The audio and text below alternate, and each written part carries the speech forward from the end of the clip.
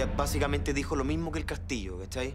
Dijo que éramos unos diabólicos, que nosotros la habíamos inculpado y a mí me dio rabia, porque obvio. Entonces agarré el teléfono para llamar a los pacos y en eso salió corriendo. Pero no llamaste y dejaste que se escapara, pues Vicente, por la... ¿qué, ¿Qué quería que hiciera? ¿Ah? Que le pegara un combo en el hocico, que la agarrara, no sé, estaba la Gabriela ahí, ¿o no? No sé, no sé, da lo mismo. Da lo mismo. La próxima vez que te encuentras con ella tienes que reaccionar, no puedes vacilar. Esa mujer ya podría estar presa de nuevo, ¿te das cuenta? Sí, sí, sí, es verdad. Pero viejo, ¿qué quería que hiciera? La Gabriela estaba mal. La vi y me, me- me dio, me dio Ey, pena, ¿cachai? escúchame. Aparte fue todo rapidísimo. No hay ninguna excusa, da lo mismo lo que digas. Uno puede entender que ella vacile, pero tú no puedes, yo no puedo, hay que reaccionar. Es por su bien, por último, ¿entiendes? Es por su bien. Tiene- ¿Sí?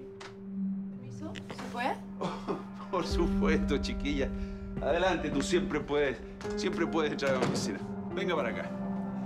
Mira, justamente estábamos hablando de ti. ¿En serio? Sí, sí. Estaba pensando por qué no se van a comer esta noche a la casa y hablamos del proyecto. ¿Les parece? ¿Yo? ¿Sí? Bien. Vamos. Muy bien. Rico.